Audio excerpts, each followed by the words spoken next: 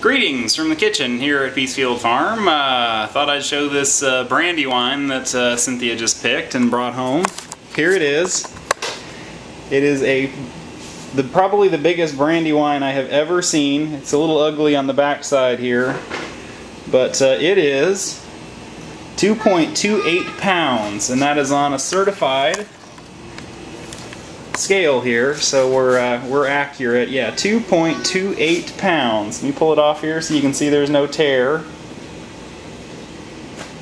2.28. yeah, no no spray, no nothing. Uh, just uh, used to be a horse pasture. Anyway, yeah, thanks for checking it out. Uh, come check us out at the uh, Crawfordsville Farmers Market. Uh, oh yeah, and click comment, subscribe. Thank you.